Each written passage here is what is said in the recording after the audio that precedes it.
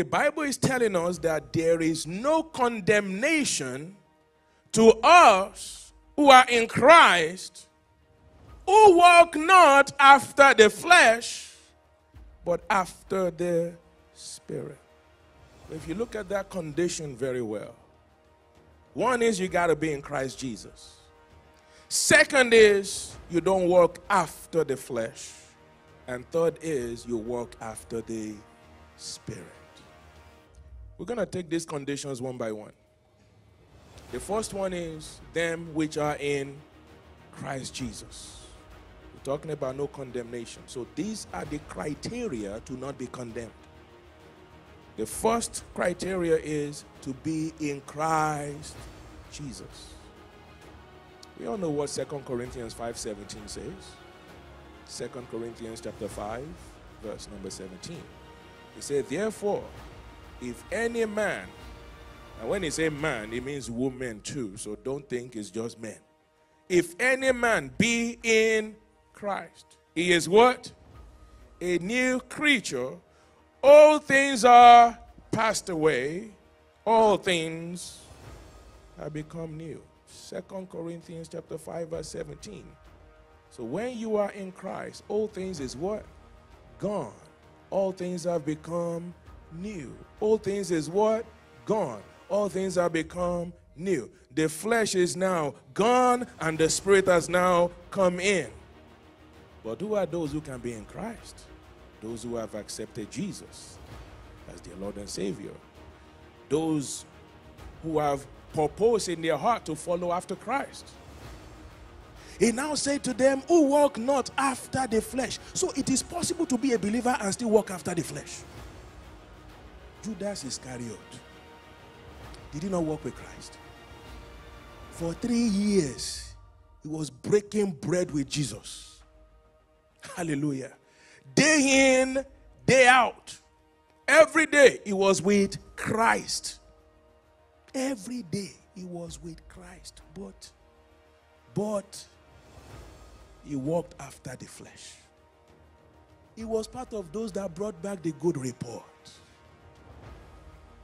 So the flesh can act as if it is subdued for some time. But at the least expected time, if care is not taken, flesh will manifest. Those who walk after the flesh. Romans 8 1 There is therefore now no condemnation to them which are in Christ Jesus, who walk not after the flesh. What does it mean to walk after the flesh? It means to live according to the flesh. Let's talk about walking in the Spirit. Those who walk after the Spirit. Matthew chapter 3, verse 11. Bible says, I indeed baptize you with water unto repentance. But he that cometh after me is mightier than I, whose shoes I am not worthy to bear. He shall baptize you with the Holy Ghost and with he shall baptize you with the Holy Ghost and with and this is John the Baptist speaking here, and he's speaking of Christ. Now, look, I'm just here to baptize you in the water for repentance. But the baptism that you still need is that of the Holy Spirit and is that of fire.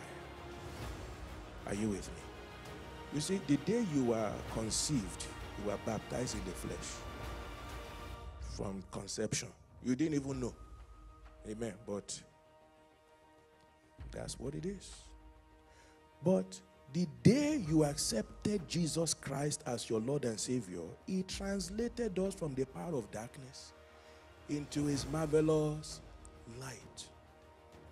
To stay now in the light, you need the power of the Holy Spirit.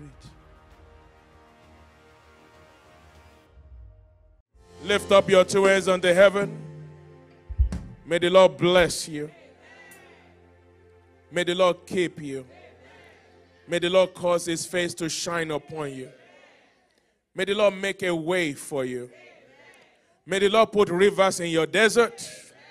In the name of Jesus. May the Lord make a way in the wilderness of this life for you. As you go, you'll be blessed. As you come, you'll be blessed. As you go, you'll be favored. As you come, you'll be favored. May you sleep in favor. May you wake up in favor. In all you do, may God favor you.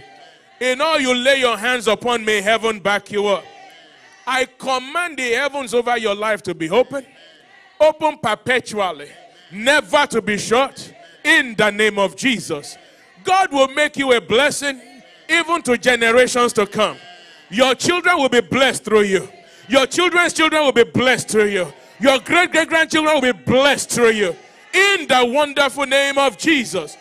So I decree over you multi generational blessings, all to the glory of the Most High. At the end of it, may you make heaven. I say it again, may you make heaven. And in this struggle with Mr. Flesh, may your spirit win. In the name of Jesus. Thank you, my Lord and my God. In Jesus' name we have prayed. God bless you. Have a wonderful week in Jesus' name.